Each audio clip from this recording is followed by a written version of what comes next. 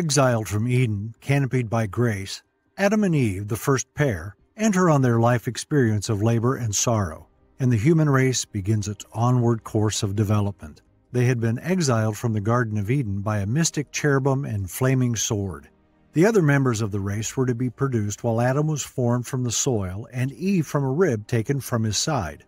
Adam made love to his wife Eve, and she became pregnant and gave birth to Cain. She said, With the help of the Lord, I have brought forth a man. However, just like Adam, the first man fell. Something was about to take hold of the first sons of the patriarchs. Eve's designation of her newborn as a man has been interpreted to mean that she had previously given birth to girls who had grown up to be women, and that she anticipated her young and vulnerable babe to mature as well. Genesis chapter 4 verse 2. And she began again bear his brother Abel. And Abel was a keeper of sheep, but Cain was a tiller of the ground. Genesis chapter 4 verse 3. And in process of time it came to pass that Cain brought of the fruit of the ground an offering unto the Lord. And Abel he also brought of the firstlings of his flock, and the fat thereof. And the Lord had respect unto Abel and his offering. Firstlings of his flock means the firstborn of his animals, which God afterwards demanded. Exodus chapter 13 verse 12. You are to present to the Lord the firstborn male of every womb. All the firstborn males of your livestock belong to the Lord. The firstlings also shows Abel's priorities. He did not pay himself first. The fatness of them means the best he had and the best of those best. Genesis chapter 4 verse 5. But unto Cain and to his offering he had not respect. And Cain was very wroth, and his countenance fell. And Cain was very wroth, literally means it burned with Cain exceedingly, and his countenance fell. Cain was in bitter resentment of his brother, possibly in dissatisfaction with himself, almost certainly in anger against God.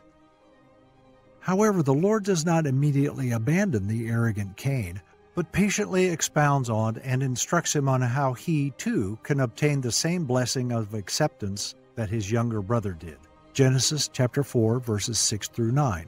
And the Lord said unto Cain, Why art thou wroth, and why is thy countenance fallen? If thou dost well, shalt thou not be accepted? And if thou dost not well, sin lieth at the door, and unto thee shall be his desire, and thou shalt rule over him. And Cain talked with Abel his brother. And it came to pass, when they were in the field, that Cain rose up against Abel his brother, and slew him. And the Lord said unto Cain, Where is Abel thy brother? And he said, I know not. Am I my brother's keeper? Where is Abel thy brother? A question fit to go straight to the murderer's conscience, and no less fit to arouse his wrathful jealousy as demonstrating how truly Abel was the beloved one. I know not, am I my brother's keeper? That was the desperate last resort of someone who felt he was being tracked by avenging justice and was about to be convicted of his crime. Genesis chapter 4 verse 10. And he said, What hast thou done? The voice of thy brother's blood crieth unto me from the ground. The infinitely wise judge proceeds to charge the guilty fratricide with his sin, satisfied that the guilty Cain is determined not to acknowledge his deed. Jehovah said, What hast thou done? thus implying his complete awareness of the fact that his prisoner was attempting to deny. What a revelation it must have been to the inwardly trembling perpetrator of the impossibility of escaping the wrath of God. The voice of thy brother's blood is a common biblical expression used in reference to murder and other crimes. The blood crying represents the soul pleading for the right to live. In this case, the cry was a demand for the murderer's punishment, and that cry has echoed throughout all lands and down through the ages, proclaiming vengeance against the shedder of innocent blood. Genesis chapter 9 verse 5. Surely your blood of your lives will I require, at the hand of every beast will I require it, and at the hand of man, at the hand of every man's brother will I require the life of man. Genesis chapter 4, verses 11 and 12. And now art thou cursed from the earth, which hast opened her mouth to receive thy brother's blood from thy hand. When thou tillest the ground, it shall not henceforth yield unto thee her strength. A fugitive and a vagabond shall thou be in the earth. Convicted, if not humbled, the perpetrator is speechless and can only listen in disbelief to the threefold judgment that declares him cursed in his soul, vagabond in his body, and unprosperous in his labors. He would now bear the displeasure and indignation of his Maker, whose image in Abel he had slain. of which indignation and displeasure his expatriation was to be a symbol. The terrible significance of this curse is further opened in the words, When thou tillest the ground, it shall not henceforth yield unto thee her strength. A fugitive and a vagabond shalt thou be in the earth. The earth was to be against him. First, in refusing him his substance. When thou tillest the ground, it shall not henceforth yield. Literally, add to give unto thee her strength. Second, in denying him a home, a fugitive and a vagabond, literally moving and wandering, groaning and trembling, banished and homeless. Thus the earth was made the minister of God's curse. Genesis chapter 4 verses 13 and 14. And Cain said unto the Lord, My punishment is greater than I can bear. Behold, Thou hast driven me out this day from the face of the earth, and from thy face shall I be hid. And I shall be a fugitive and a vagabond in the earth. And it shall come to pass that every one that findeth me shall slay me. And the Lord said unto him, Therefore whosoever slayeth Cain, vengeance shall be taken on him sevenfold. And the Lord set a mark upon Cain, lest any finding him should kill him. Cain's apprehensions were allayed by a special act of grace. Just like the covering of Adam and Eve, God shows favor to Cain after his judgment. There would be no such mitigation of the penalty in the case of Cain's killer as there was in the case of Cain himself. On the contrary, he would be visited more severely than Cain because he was guilty not only of homicide, but also of violating the divine commandment that said Cain was to live. Cain was given this special privilege for a reason. It was to demonstrate 1. To demonstrate that vengeance is mine, I will repay says the Lord. Second, to serve as a deterrent to the crime of murder. There is most likely a reference to this in the concluding clause, and God put a mark on Cain.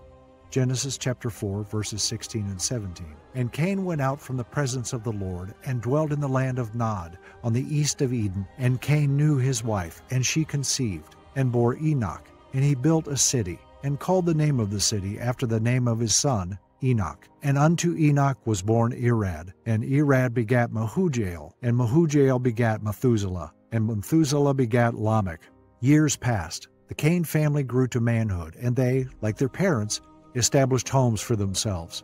Genesis chapter 4, verse 20. And Adah bore Jabal, he was the father of such as dwell in tents, and of such as have cattle. And his brother's name was Jubal. He was the father of all such as handle the harp and organ. And Zillah, she also bore Tubal-Cain, an instructor of every artificer in brass and iron. And the sister of Tubal-Cain was Naamah. And Lamech said unto his wives, Adah and Zillah, Hear my voice, ye wives of Lamech. Hearken unto my speech, for I have slain a man to my wounding, and a young man to my hurt. If Cain shall be avenged sevenfold, truly Lamech seventy and sevenfold. And Adam knew his wife again, and she bore a son, and called his name Seth. For God, said she, hath appointed me another seed instead of Abel, whom Cain slew. The story now reverts to the fortunes of the doubly saddened pair. And Adam knew his wife again, and to Seth, to him also there was born a son, and he called his name Enos. Then began men to call upon the name of the Lord.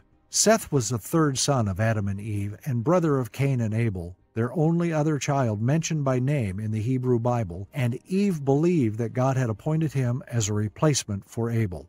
Out of Seth came other men of faith, including Noah. What the Bible says about Cain. His name translates as a possession, a spear. He was a sullen, self willed, haughty, vindictive man, desirous of the religious element in his character and defiant even towards God. He was fated to be a wanderer and fugitive in the earth. He left for the land of Nod, and his descendants can be traced back to the sixth generation. They gradually deteriorated in moral and spiritual condition until they were completely corrupt in the eyes of God. This corruption prevailed, and God eventually sent the deluge to prevent evil's ultimate triumph. Seven things we know about Cain. 1. He worships in self will. 2. Is angry with God. 3. Refuses to bring a sin offering. 4. Murders his brothers. 5. Lies to God. 6. Becomes a vagabond. 7. Is, nevertheless, the object of divine solicitude. The New Testament warns us regarding Cain and the importance of love. Hebrews chapter 11 verse 4. By faith Abel offered to God a better sacrifice than Cain, through which he obtained the testimony that he was righteous, God testifying about his gifts, and through faith, though he is dead, he still speaks. And why did he murder him? Because his own deeds were evil and his brothers righteous. What the Bible says about Abel. Abel means a breath or vanity, a grassy place, a meadow. The blood of sprinkling is said to speak better things than that of Abel. Hebrews chapter 12 verse 24. And to Jesus the mediator of the new covenant, and to the blood of sprinkling, that speaketh better things than that of Abel. The comparison here is between the sacrifice offered by Christ and that offered by Abel, and not between the blood of Christ calling for mercy and the blood of the murdered Abel calling for vengeance, as has sometimes been supposed. Three descriptions of Abel worshipper, righteous man, martyr. There was a difference in the offerings they brought. It is expressly said. Hebrews chapter 11 verse 4. By faith Abel offered unto God a more excellent sacrifice than Cain, by which he obtained witness that he was righteous, God testifying of his gifts. And by it he being dead yet speaketh. The book of Hebrews is an outstanding resource to understanding the Old Testament. The significant difference was that Abel offered in faith, whereas Cain did not. There was a difference in the principle they followed. Abel offered with God's will as his rule and God's glory as his end, and in reliance on the promise of a Redeemer. Cain was unhumbled. His confidence was within himself. He was like the Pharisee who glorified himself but was not so much as justified before God. Abel was a penitent believer, like the publican who went away justified. The New Testament warns us regarding Cain and the importance of love. 1 John chapter 3 verses 11 and 12. For this is the message that you have heard from the beginning, that we should love one another. We should not be like Cain, who was of the evil one and murdered his brother. And why did he murder him? Because his own deeds were evil and his brother's righteous. The deadly fruit of hate is taught in the brief account of the actual murder. Notice the impressive plainness and fewness of the words. Cain rose up against his brother and slew him.